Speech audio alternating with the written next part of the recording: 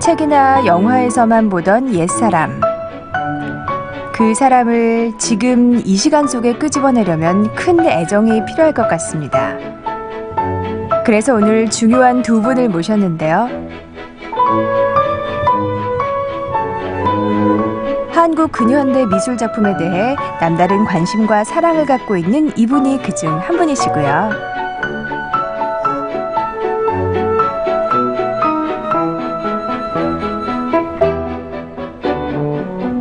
다른 한 분은 집안 툇마루에 올라 그림을 그리던 아버지에 대한 기억을 갖고 있는 화가입니다.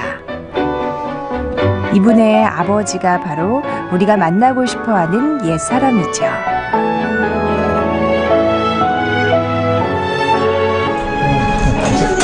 어? 네, 안녕하세요. 네. 일하실 때인데 축하드립니다. 아이, 감사합니다. 네, 안녕하세요. 이선영입니다. 박성호입니다. 네. 미술 평론가와 화가의 아들. 이 두 분의 도움을 받아 먼저 한 시대를 살아간 사람을 만나볼까 합니다.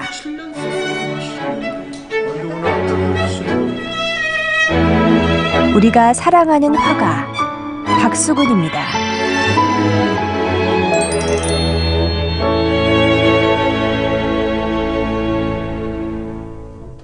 고 박수근 선생님께서 탄생한 지 이제 100주년을 맞아서 인사동에서 전시회 하고 있잖아요. 전 얼마 전에 다녀왔는데 정 선생님 다녀오셨어요? 예. 늘 보는 전람회고 백수근 선생님에 대해서 많이 볼 기회, 다른 사람보다 볼 기회가 많았지만은 늘볼 때마다 새로운 것 같아요. 아들의 입장에서 보셨을 때 어떠세요?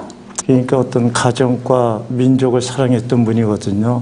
그런 서민들 곁으로 가서 지금 위로해주고 있다라는 게 네. 얼마나 기쁘고 감사하죠. 저는 박수근 화백의 그림을 교과서에서 보고 또 이제 TV 화면으로만 보다가 실제로 가서 본 것은 이번이 처음이었거든요. 늘 사람들이 뭐 소박하다, 정겹다라고 말했던 것들이 진짜 마음으로 들어오는 느낌이 좀 들더라고요.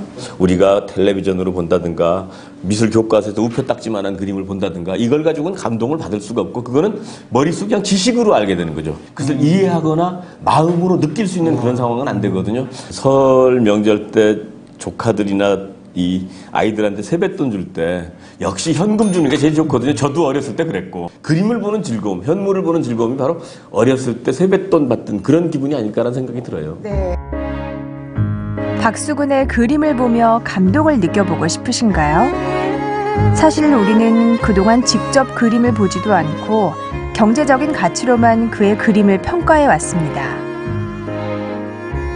얼마 전에 뉴스에서 그 대표작이신 그 빨래터의 그 가격을 봤어요. 근데 순간 주변을 둘러보니까 이게 다 얼마야라는 생각을 하게 되더라고요. 어, 그 빨래터 같은 경우에 뭐 근 40억이 넘는 돈이었고 지금 인사동에 전시되고 있는 작품들만 해도 이렇게 따져도 근 천억에 가깝지 않을까라는 생각이 드는데 사실 우리가 그림을 평가한다는 게 늘 어려운 문제거든요. 그래서 남들이 어떻게 평가했나에 대해서 늘 귀를 기울이죠. 그러니까 그림을 보러 가서 귀를 쫓는 왜 눈을 크게 뜨는 게 아니라 근데 자기 눈을 크게 떠서 자기한테 맞는 그림.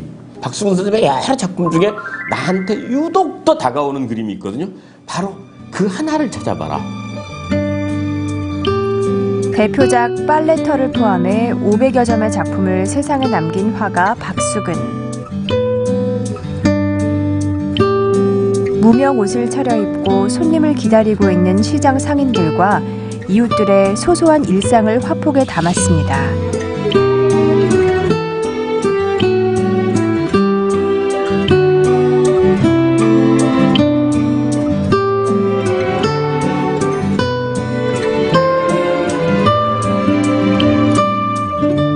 기름 장수, 소금 장수, 뭐 여러분들 왔다 갔다 하시고 그 생활이 보이는 것 같은데